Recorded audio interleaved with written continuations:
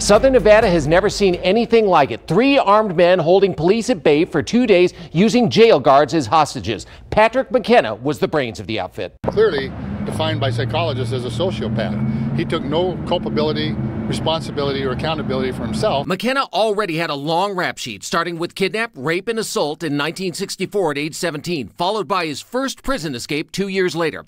Recaptured, he served time and was released, only to be jailed again for a different set of crimes, and then he murdered his cellmate. In August of 79, he and two other inmates made their move. Had gained access to the gun locker and had each had obtained a weapon and had taken uh, three inmates or three uh, corrections officers hostage. Former Sheriff Jerry Keller was a member of the hostage negotiation team gathered downtown. The location might come as a bit of a surprise. It hasn't been that long since this was City Hall, but four decades ago, the north side of the complex was also the county jail. News director Bob Stoldal was enlisted as the go-between, delivering messages and food to the captors with stern advice from the officer in charge. He put his hands on me and said, listen, you're not John Wayne. These are bad guys.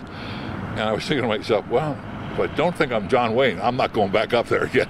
44 hours into the standoff, tensions were running high among the captors. Stoldal was on the phone with McKenna. That's when the one, two, three, four, five, six shots we could all hear, and we looked at each other. Keller thinks the shooting started when a water cooler compressor in the next room turned on. It started rattling against the wall, and they thought we were trying to burrow through. And as a result, the conflict between Lorenzo and Shaw boiled over and they got involved in a gunfight. Felix Lorenzo and Eugene Shaw were dead. One of the guards had taken a gunshot to the hand. Another spoke to News 3 about the ordeal. There was no doubt in our minds that they were going to kill us. They made that very clear that we weren't leaving there alive. McKenna was convicted of the earlier jailhouse murder in 1980 and sentenced to death, then again on appeal in 1982.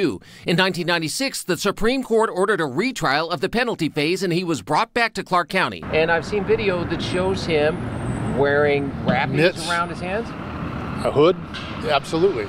He is a threat for escape at all times. The result was the same. Set the penalty and sentence to be imposed upon the defendant, Patrick Charles McKenna, at death. The only reason I have the death penalty is because I am who I am and it was Las Vegas and I was just involved in that jailhouse thing. While the siege gripped our city, Stoldal doesn't think the man behind it is important to local history. Covering Spilotro and all of those things, those are the moments, the MGM tragedy, the, the Hill tragedy, those are the things. But but Bozo McKenna, no, I don't, I don't put him in, in, in that category. At 72 years old, Patrick McKenna is the second longest serving person in Nevada under sentence of death. There have been no executions in the state since 2006. The area that used to serve as the jail is now part of the Zappos campus at Las Vegas Boulevard in Stewart.